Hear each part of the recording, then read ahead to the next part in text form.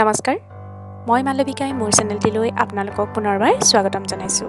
আজি মই নাৰিকলৰ লাড়ুৰ এটা ভিডিঅ' লৈ আহিছোঁ। আহক আমি ভিডিঅ'টোৰ মাজলৈ যাওঁ। প্ৰথমে মই দুটা নাৰিকল ল'লোঁ আৰু নাৰিকলকেইটা বাকলি গুচাই ল'লোঁ।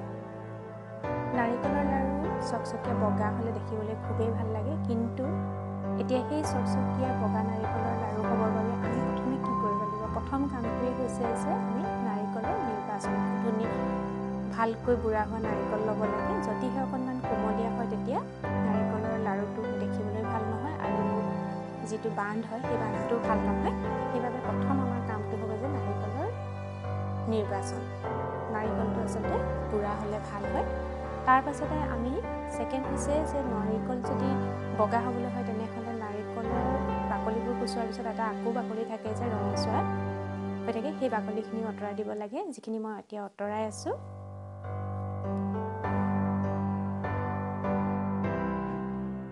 নাৰিকলৰ বাকলিখিনি ইতিমধ্যে মোৰ এৰুৱা হৈ গৈছে আৰু এতিয়া মই অকণমান সৰু সৰুকৈ কাটি ল'ম যিহেতু মই মিক্সিত দিম সেইবাবে অকণমান সৰু কৰি ল'ব বিচাৰিছোঁ। আৰু এটা কথা যদিহে নাৰিকলখিনি কাটোতে অকণমান লেতেৰাও হৈ যায় তেতিয়াহ'লে ভালকৈ ধুই ল'ব। তেতিয়াহে নাৰিকলৰ লাড়ুটো দেখিবলৈ ধুনীয়া হয় বগা আৰু চকচকীয়া হৈ থাকিব।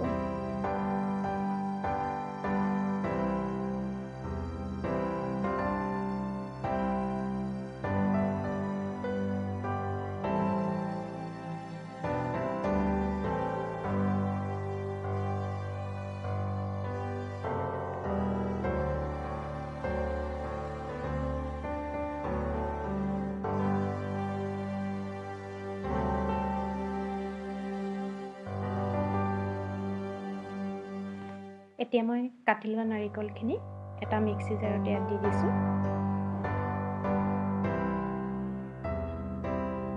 আৰু এইখিনি এতিয়া মই মিক্সিত চলাই ল'ম।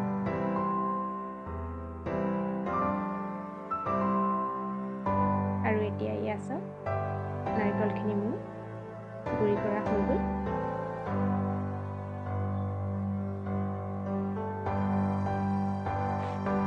এতিয়া মই ইয়াতে প্ৰেছাৰ কুকাৰ এটা লৈছোঁ আৰু প্ৰেছাৰ কুকাৰত মই নাৰিকলৰ গুড়িখিনি দি দিছোঁ। তিনি বাতি নাৰিকলৰ গুড়ি হ'ল। এতিয়া মই দিছোঁ সেই একেটা জোখৰ বাতি দি। দুই বাতি ইয়াতে চেনি দিছোঁ। আৰু ইয়াত নাৰিকলৰ গুড়া আছিলে তিনি বাতি। এই হিচাপমতে দিলে নাৰিকলৰ লাড়ুৰ মিঠাটো জোখৰ হয়।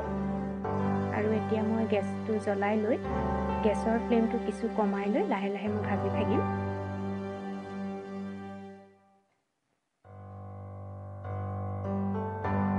নাৰিকলৰ লাড়ু বগা হ'বৰ বাবে সদায় গেছৰ ফ্লেমটো অকণমান কমাই ল'ব লাগে। আৰু এটা কথা নাৰিকলৰ লাড়ু যদি বগা কৰিব বিচাৰে তেনেহ'লে কেতিয়াও কেৰাহীত নবনাব। যদিহে সেই কেৰাহীখনত তেল আগতে ব্যৱহাৰ কৰিছে তেল হালধি ব্যৱহাৰ কৰিছে সেইকাৰণে মই আচলতে প্ৰেছাৰ কুকাৰটো লৈছোঁ। যিহেতু প্ৰেছাৰ কুকাৰত আমি তেল নিমখ একো হালধি একো নিদিওঁ। সেইবাবে মই প্ৰেছাৰ কুকাৰটো লৈছোঁ। আৰু যদিহে আপোনালোকৰ ঘৰতো তেনেকৈ তেল ব্যৱহাৰ বা হালধি ব্যৱহাৰ নকৰা প্ৰেছাৰ কুকাৰ আছে তেনেহ'লে তেনেকুৱা এটা ব্যৱহাৰ কৰিব। কিন্তু তেতিয়া কেতিয়াও নাৰিকলৰ লাড়ু ৰঙা হৈ নাযায়। আৰু আপোনালোকে এলুমিনিয়ামৰ চচো ল'ব পাৰে কিন্তু যিটো পাত্ৰতে বনাওক অন্ততঃ পাত্ৰটো অকণমান ডাঠ হ'লে ভাল হয় নাৰিকলৰ লাড়ুৰ ক্ষেত্ৰত।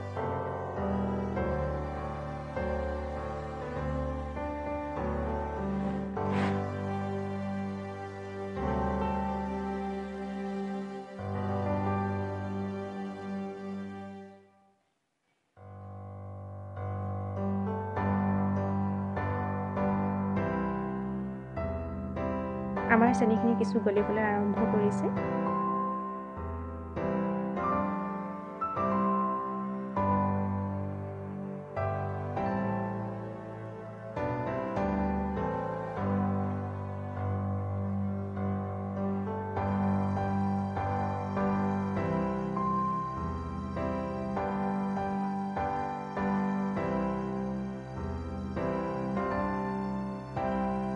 নাৰিকলৰ লাড়ু বনাওঁতে খৰখেদা কৰিব নালাগে অকণমান লাহে লাহে বনাব লাগে যাতে নাৰিকলখিনি বগা হৈ যায় আৰু তলত যাতে লাগি নাযায় সেইটোও মন কৰিব লাগে। সেইবাবে মই কি হৈছে গেছৰ ফ্লেমটো একেবাৰে কমাই লৈ এনেধৰণে লাহে লাহে সিজিবৰ বাবে বনাই আছোঁ আৰু হাতখন একেবাৰে এৰিব নালাগে ঘনাই লৰাই থাকিব লাগে।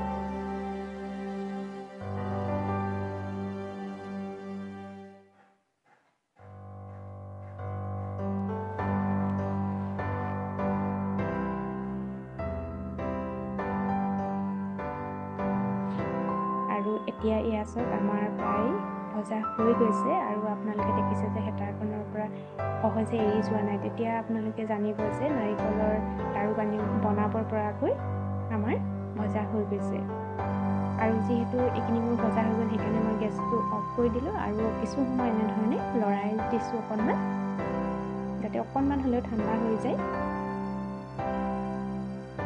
আৰু এতিয়া মই গৰমে গৰমে দুই এটা বনাবলৈ চেষ্টা কৰিম। এইখিনিতে আৰু এটা কথা কৈ থওঁ যদিহে কেতিয়াবা নাৰিকলখিনি ভজা বেছি হৈ যায় তেতিয়াহ'লে আপোনালোকে এটা কাম কৰিব পাৰে অকণমান লিকুইড গাখীৰ লৈ। এই মিশ্ৰণখিনিত অকণমান এক চামুচমান দিলেই হ'ল দি লৈ অকণমান গেছৰ ওপৰত দি লৰাই দিব আৰু তাৰ পাছত বনাই চাবচোন নাৰিকলৰ লাড়ুটো সুন্দৰকৈ হৈ উঠিব। কিন্তু আজি মই ইয়াতে কোনো গাখীৰ ব্যৱহাৰ কৰা নাই। এনেকৈ ব্যৱহাৰ কৰিবলগীয়া হোৱাও নাই।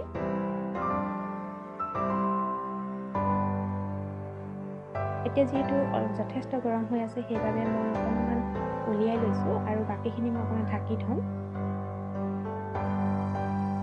ইয়াৰ পৰা এতিয়া মই কম কমকৈ লৈ লাডু বনাই যাম আৰু আপোনালোকে দেখিছে যে এই নাৰিকলখিনি চকচকীয়া বগা হৈ আছে। সেইকাৰণে মই প্ৰেছাৰ কুকাৰ প্ৰিফাৰ কৰোঁ আৰু অকণ যতনটো ডাঠ হ'ব লাগে যিহেতু তেতিয়া লাগি নাযায়। আপোনালোকে কেৰাহীটো কৰিব পাৰে কিন্তু কেৰাহীখন যাতে এনেকুৱা হ'ব নালাগে যে কেতিয়াও তাত হালধি দিয়া বা তেল মৰা কেৰাহী হ'ব নালাগে।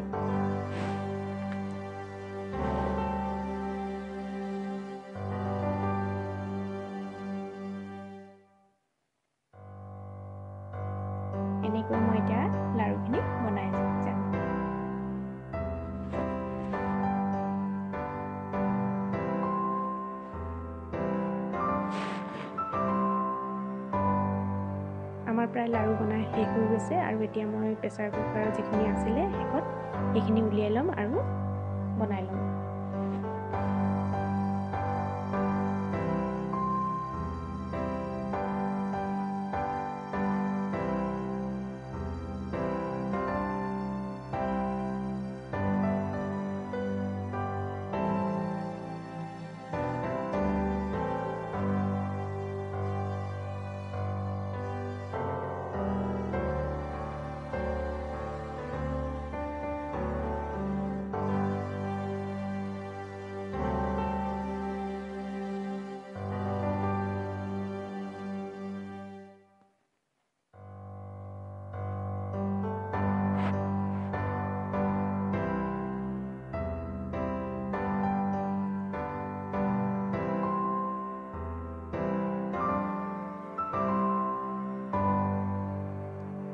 আশা কৰোঁ আজি মোৰ এই ভিডিঅ'টো আপোনালোকৰ বাবে উপকৃত হ'ব।